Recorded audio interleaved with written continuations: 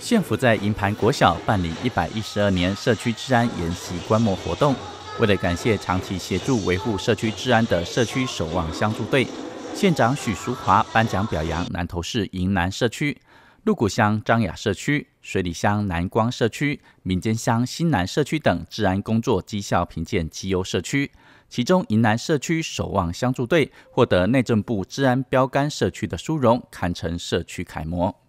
许县长指出，营南社区历年来表现优异，今年获得标杆社区殊荣，可以说是实至名归。获奖社区皆非常优秀，感谢他们的牺牲奉献。许县长也感谢所有的守望相助队，未来县府在设备、训练等社团资源会尽力提供，希望将治安维护的功能发挥到极致。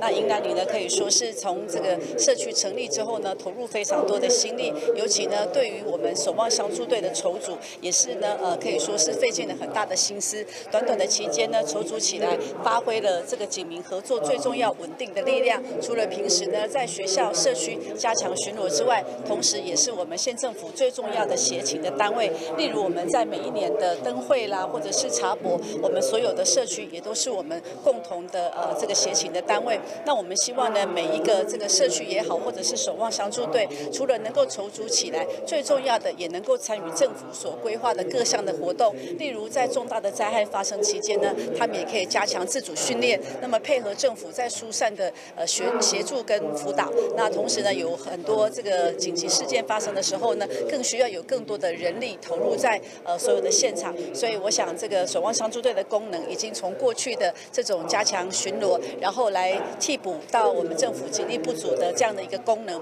所以我在这里呢要特别感谢所有的守望相助队，这里也非常感谢所有我们的议会的议员相当的支持我们警力的工作，也不断的提醒在设备还呃各种面的这个训练的费用都要提升，我们会呃继续的来努力。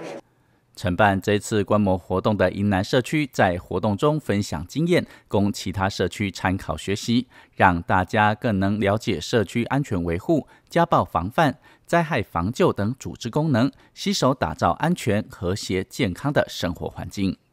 哎，你社区本来就是一个啊，治安上大问题啊。啊，所以讲，咱徛伫顶啊，啊，我当旅长非常重视啊，啊，咱的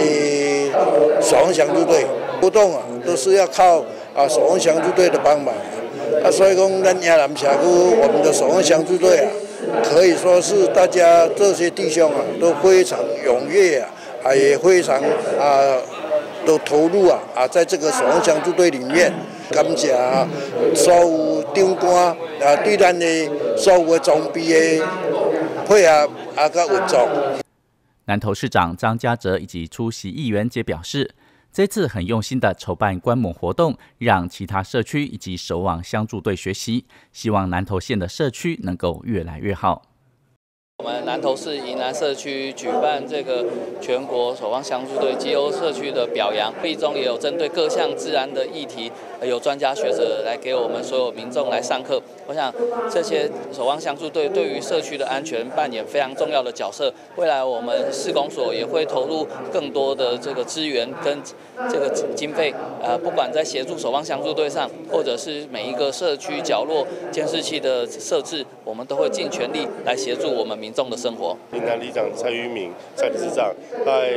很用心的筹划了这场的一个观摩活动。他也希望借由这次的观摩活动，他也让大家能够有更好的进步，而且也受县长也亲自出席，还其实许多的贵宾也特别来这边来肯定我们的云南社区跟守望相助队。在地的守望相助队跟我们的警消同仁，一直都是为了地方的治安来协助一个非常重要的角色，所以很高兴今天呃那么多的贵宾一起来关心我们。地方社区的发展，也希望说未来我们在一起支持我们的这些呃守望相助队，让我们的治安能够更加的呃进步，然后能够让我们在地的居民能够更加的安心在这边生活。想在这里也特别借着这个机会，感谢我们长期致力于治安协力的好伙伴。南投县现在在拼观光的同时，真济大型的活动、观光活动的交通的这个协力，嘛是咱真济守望相助队哈来做着协助，而且感谢大家。